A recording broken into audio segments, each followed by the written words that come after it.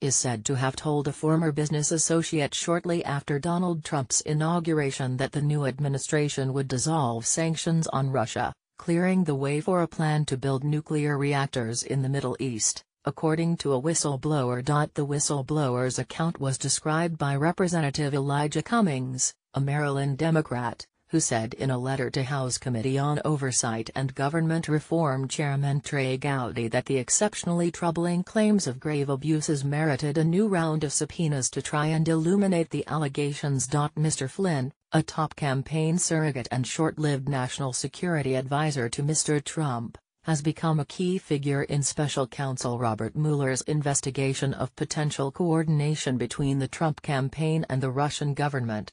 Mr. Flynn recently pleaded guilty to lying to the FBI about his contact with Russian Ambassador Sergei Kislyak. Democratic legislators have already probed whether Mr. Flynn sought to advance a joint U.S.-Russian plan to bolster nuclear power in the Middle East while he was in the White House. They have sought more information about Mr. Flynn's 2015 trip to the Middle East which involved the plan. The journey was underwritten by the firm ACU Strategic Partners according to a September letter from House Democrats citing a confirmation from ACU's managing director Alex Copson.